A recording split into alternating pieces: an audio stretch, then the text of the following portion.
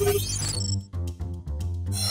going to talk about introduction to server-side Swift and uh, Kitura and Swifter frameworks. So now we have already learned how to handle REST API connection requests. Now we will see how we can do the WebSocket connections. We have a class WebSocket in Kitura. That is the main class for Kitura WebSocket API. All the APIs related to Kitura WebSocket is in that class. And it is used to register, unregister an object, which is implementing the WebSocket service protocol methods. And then that service can be used with the WebSocket class to register and unregister and then all the incoming WebSocket connections, this the service that you have implemented will return in in the way that it should return. So for example, so now we will see how it is going to do it. So we have two class functions as I discussed, register and unregister. Register function will take a service and a path. This service is the service that we need to create, which is going to implement this protocol, WebSocket service. So I, will tell you what are the methods that we need to implement for this uh, WebSocket service. But right now we are seeing that this there is register function and there is unregister function.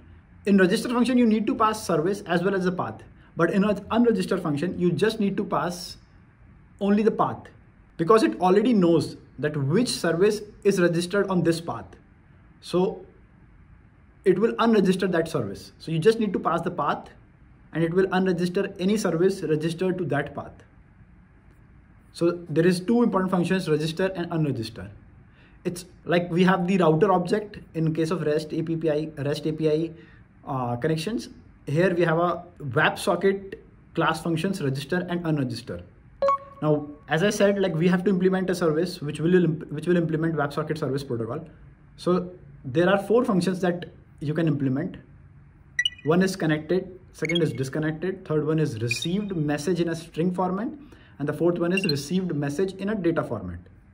So when we create a class, service class, which is implementing these functions, we can actually implement these functions and write whatever you want to serve or do whenever there is a connection, whenever there is a disconnection, whenever we receive any packet from that connection on our server and whenever we receive our message in some other format on our server.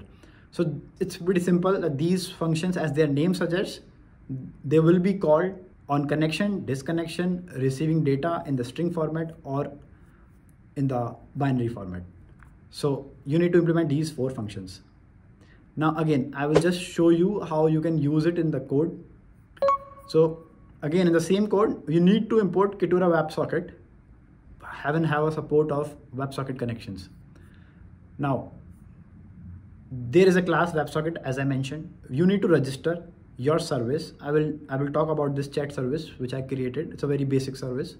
And I have mentioned the path as slash chat. So I am registering my service on this path. Any client try to make a WebSocket connection on this path will be served as whatever is mentioned in the chat service. That's pretty much it. You just you just register it. I haven't unregistered it, but I should have in the deinitializer. I have already wrote this line kitura.stop, which I mentioned that we need to stop whenever we we are deinitializing the class so that our server is not in running state when we don't even want it to be. Now let's get back to the chat service. So I created this chat service, which is implemented the WebSocket service protocols.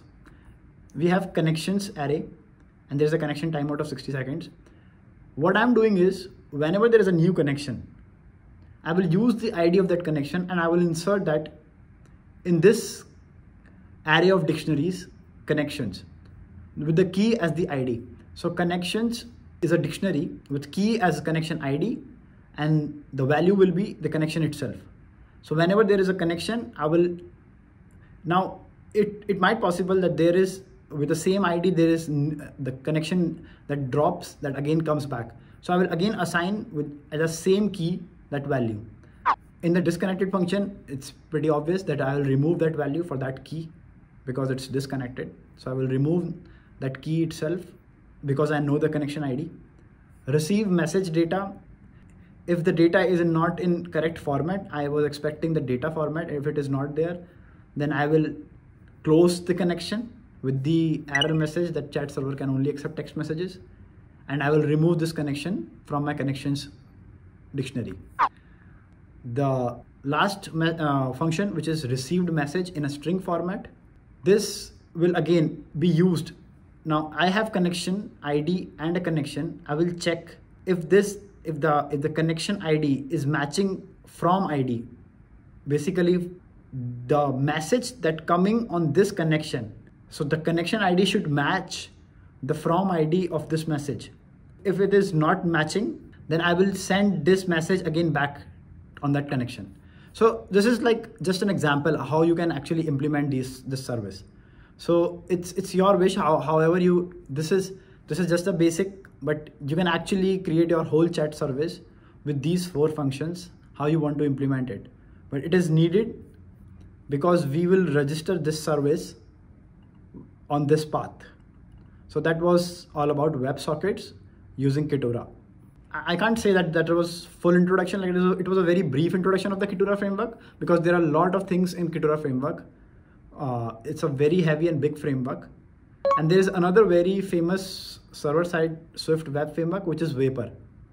Vapor is totally open source framework, but these both frameworks, Kitura and Vapor, they both are very heavy and we should use them if you are interested in making and building a fully fledged server with a lot of functionalities.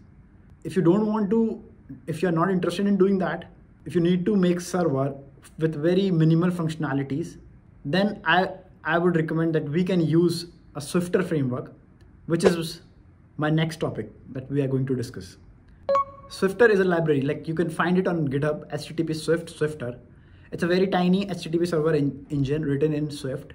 This framework obviously is not very popular. It is not being used also very widely because it's a very small and it is it can only be used for small purposes and that's why I'm talking about it because sometimes we need very basic server support so we can use this lightweight uh, framework and it can be included in our project using Carthage or CocoaPods or even Swift Package Manager.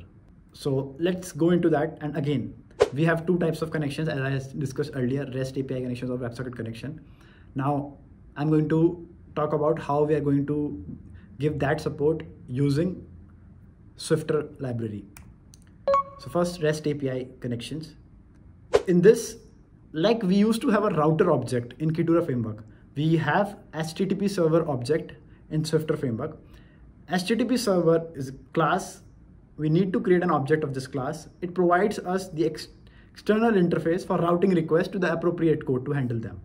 If you remember, I said the same thing for the router object. I am saying the same thing for this HTTP server object in, in Swifter framework because there is a router object of class HTTP router which is internally declared and created in the HTTP server class. But we don't have to interact with the router itself. We can just provide, we can just give the functionalities like the closures, the, the functions that needs to be called whenever there is a get request or post request. We can give that directly to this HTTP server and it will be registered to the router object of class HTTP router. Now this HTTP server class gives us the subscript notation. So we can use that subscript notation and I'm going to talk about that now. As I said, this server is an object of HTTP server class and this subscript notation, I am passing the request path. And to this, I am setting up my closure which needs to be called whenever there will be a get request or post request for this request path. Now, this is the key difference. If you remember in Kitura framework, we have get and post function and similarly other functions. Whereas in Swifter framework, you can have only one closure for a path and whatever request, the get request or the post request, on both the requests, this closure will be implemented. Obviously, you want something to be uh, called only on get and you want something to be called on only on post request. So you can implement disclosure in a way that you can check is by checking the request type. You can see if it is a get, then implement this, or if it is a post, then do this. And anyways, if even if you not check that, automatically because the type that you're expecting if and you are doing something with it if if it is not what it is if you're expecting get and if it is post then your code will be run on nil things so nothing is going to happen and if it is expecting post and the post request came then obviously your code will run. The main point is the difference is that we need to pass only a single closure to this basically i'm assigning this closure to this path. Internally the http router object will be registered will register this closure.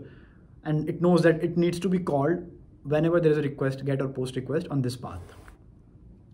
And the request will be of type http request here which is the ios given uh, class http, HTTP request. Now if you remember we had some class functions there in kitura which were add http server then start or run and then stop. Here we have only two functions and that are instance functions on http server object. So this which is like http server object is server server dot start or server dot stop. Start function will start listening for the incoming request. So it will register also and start listening for the request. It can take three parameters. So it has port which by default is set to 8080 but you can mention if you want to set it to some other port. And there's another parameter force ipv4 which is set to false. And the third function is priority which is default set to dot background which is a correct thing to set.